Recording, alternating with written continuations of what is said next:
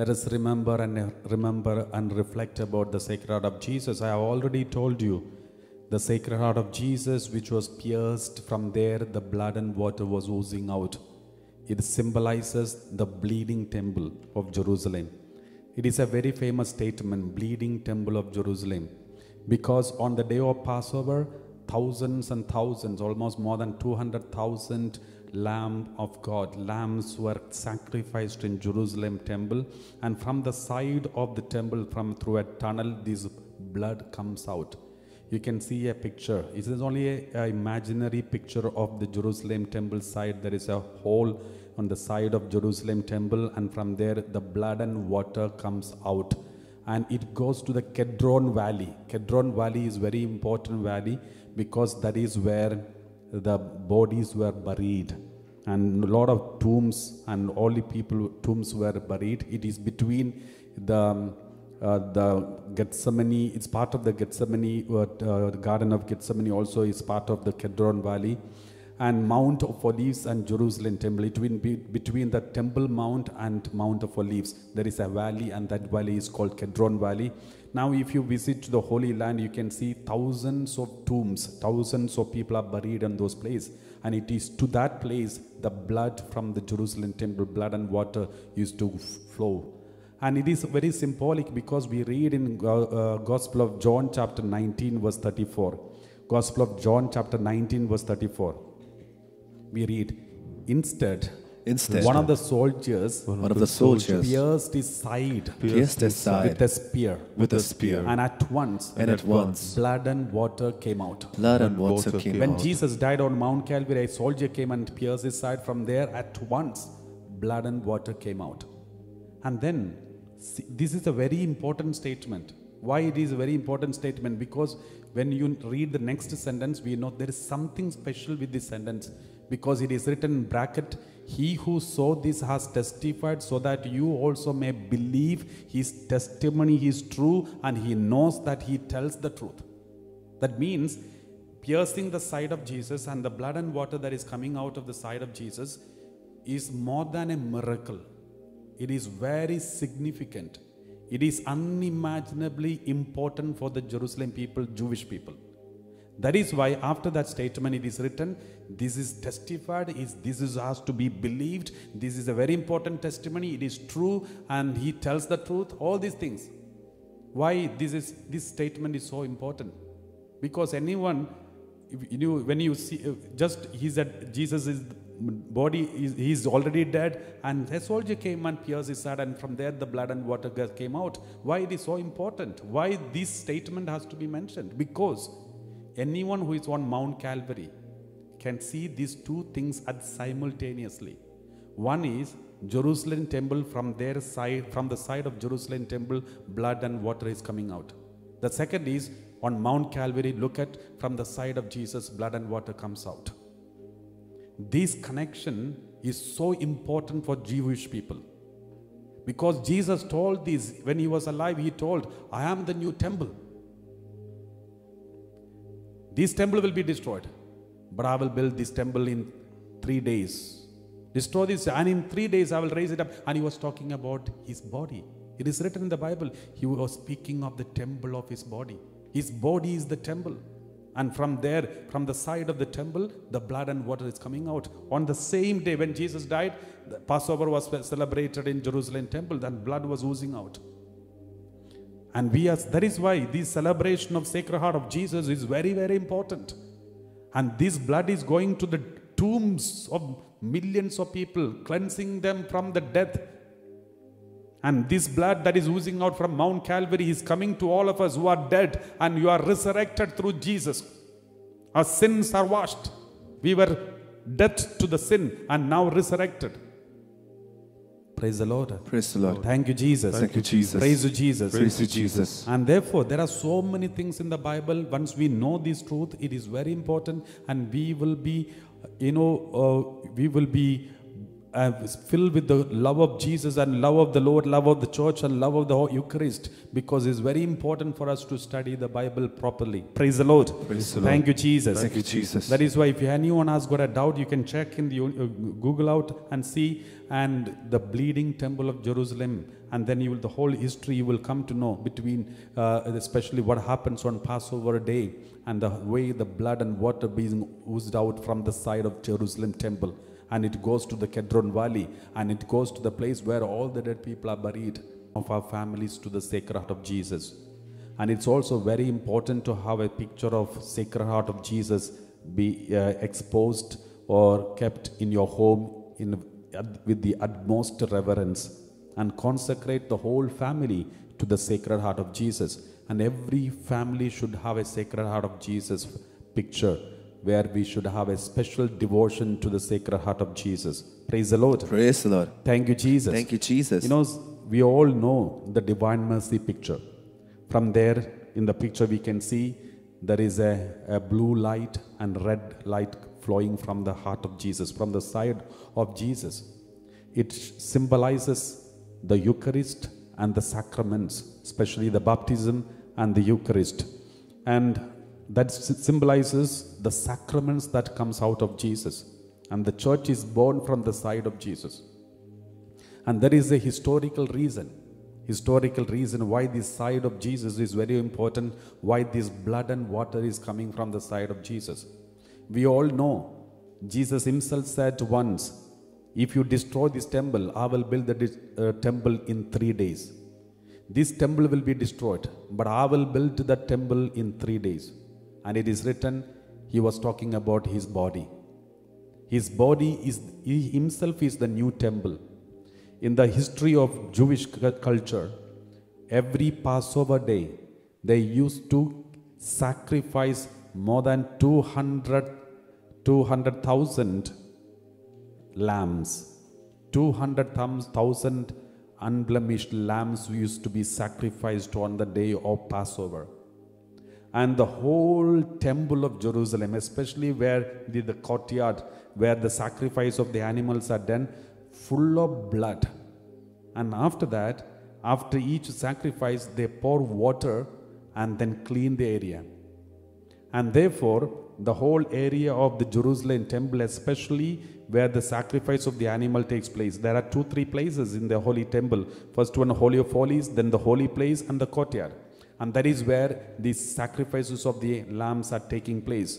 And just imagine 200,000 animals are sacrificed on the same day at the same time and in the same place and how much blood is going to come out most many of the blood they collect it and they sprinkle it and and later from the side of the jerusalem temple there is a, a there is a tunnel a hole through which all these blood and water used to flow out. And from the side of the temple it is it is said it is side of the temple there is a pipe or there is a, a tunnel from through which the whole water and blood comes out. And it is it is a it is a very important uh, scene that people all see every passover day. And the same way jesus when he died on mount calvary as soon as he died we see the side of jesus is pierced and from there blood and water is oozing out and people remembered the jerusalem temple and jesus the new temple praise the lord Praise the Lord. from the side of Jesus, the blood and water is oozing out. And Jerusalem temple is the symbol of the whole Israel. Jesus, the new temple, is the symbol of the new Israel. Praise the Lord. Praise the Lord. Thank you, Jesus. Thank you, Jesus. Thank you, Father. Thank you, Father. And with these, the whole church is containing in Jesus Christ. And therefore, on this day, when we celebrate the feast of Sacred Heart of Jesus, let us remember that pierced heart of Jesus, from where the blood and water is oozing out. For you and for me, and we are all washed in the precious blood and water of Jesus. Praise the Lord. Praise the Lord. And that is what we celebrate and pray together this Divine Mercy Chaplet. Let's read this word of God. 2 Samuel chapter 7 verse 29. Let this prayer be our prayer in every house and every family.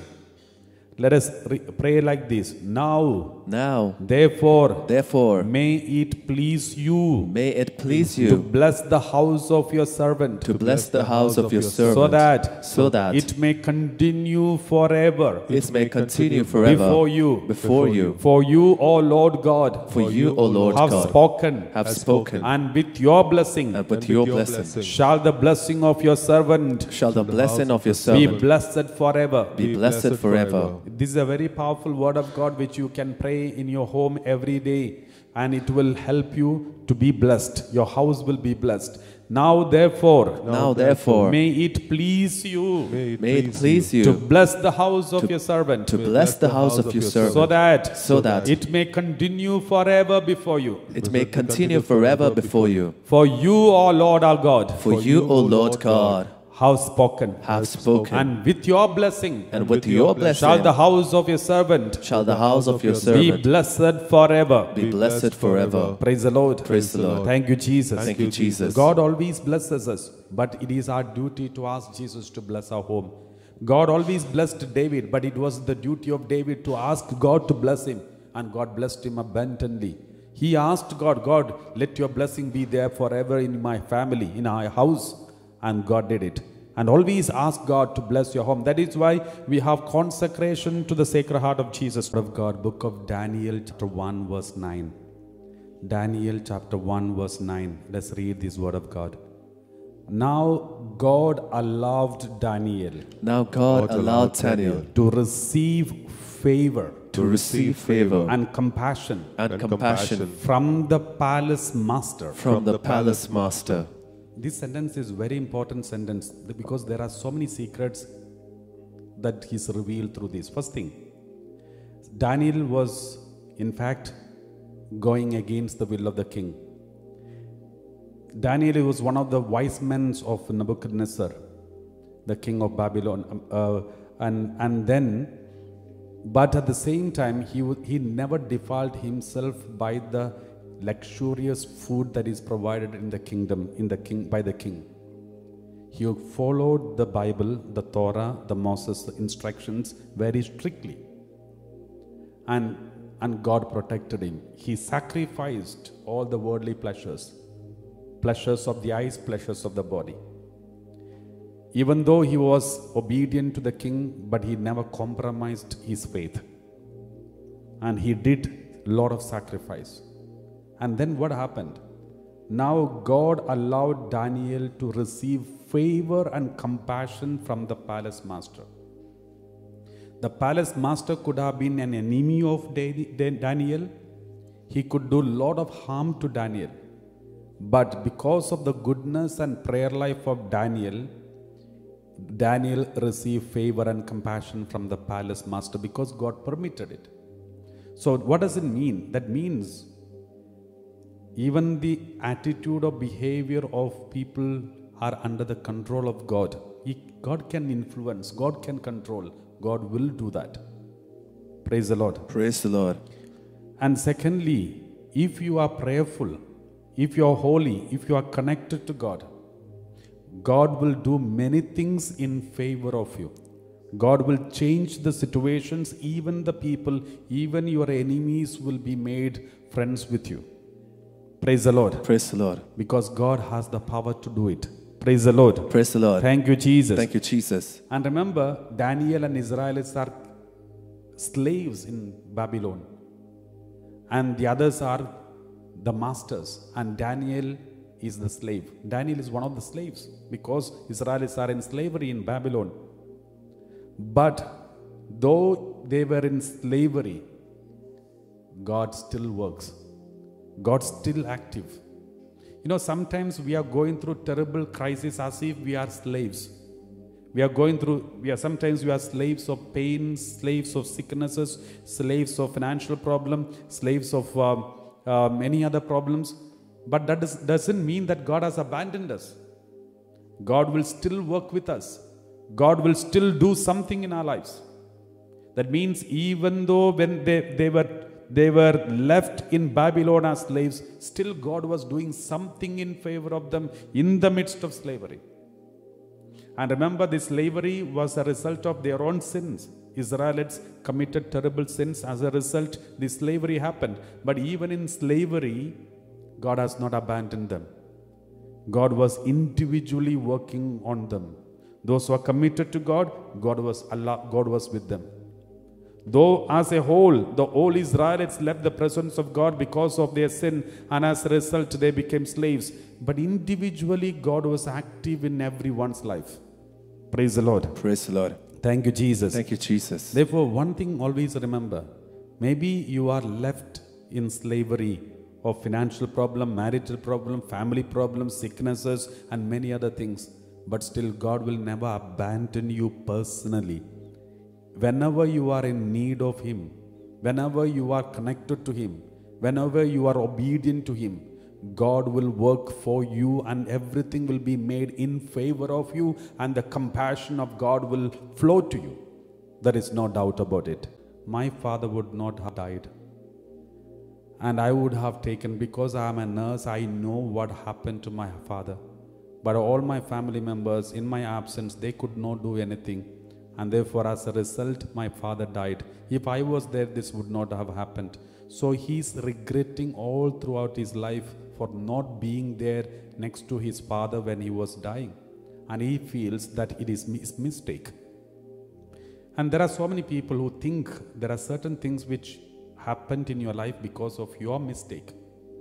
Of course, if you have done something wrong, some evil, some sins, of course, it will have some consequences.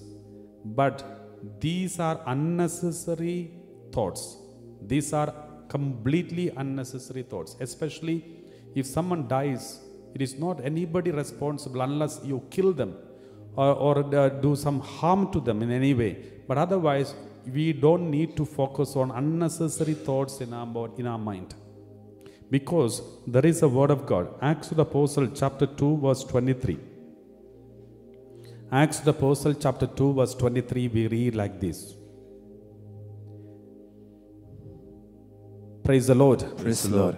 22 onwards.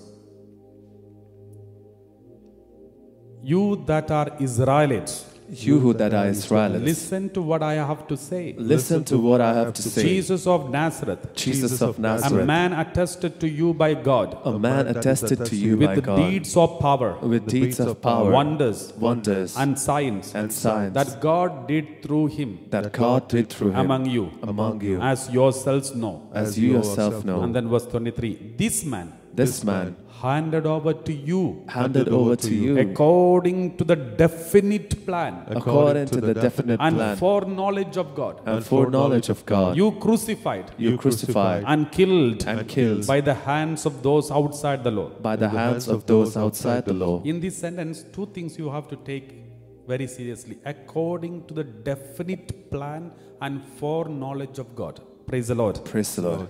There is plan of God, foreknowledge of God. God has already planned everything in such a way, and also God is always aware of what is happening on this earth. I have seen many people saying, Father, before the death of my father, my mother, exactly the previous day, my mother told me, do these, do these. My mother, all the debts she paid off, and at the end, that day, my mother died. See, it looks like everything is arranged. Someone has planned, and something happened according to the plan of someone. I remember my uncle died recently when I had gone to India for Goa retreat and Mangalore retreat. Between these Goa retreat and Mangalore retreat, there were three days, three, uh, three days of free day. My uncle died exactly on those three days, between that three day, uh, the free day, so that I could go and, and attend his funeral and pray for the whole family and whole for, uh, the funeral service I could attend. If it was any two days or one or two days before that day or even after that day, I wouldn't, I wouldn't be able to join for that. Because my uncle and me, we were so close to each other. We were, we were. I knew him from my uh, when I, I used to see him very often, almost every month or every week. So we were so close to each other. So, and God has planned everything in such a way that a person who is in UK happened to go to India for a retreat, and between these two retreat, exactly these three days, And that is the day he died, and so that I could participate all the programs, all the funeral services, everything. And after that, I had go- I, I could go and attend the, um, um, lead the service in Mangalore. So when my the uncle's family, my cousins and everyone, they were all crying for the because of the death of my uncle. And I told them this incident and said, it looks, it, it is a clear sign God was in control and God planned everything in such a way that I could come and join and lead the funeral service because He loved me so much. And otherwise, if it was any other day, I wouldn't be able to come and join. And it was impossible for me to just to attend a funeral com- going from UK. So it is a clear sign God was in control and God is planning everything. When I said this, when I said this, they were all satisfied, consoled. So it's very important that you be consoled.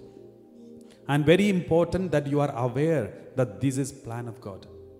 You know, if you see any incident that happened, you can see something supernatural in that. Even the death of your beloved one. Maybe young people in your family must have may have died, and you are so worried, and you are so feeling pity for them, and uh, you know sorrowful about them. Don't worry. If you see the life history, if you see something, there will be something connected to supernatural.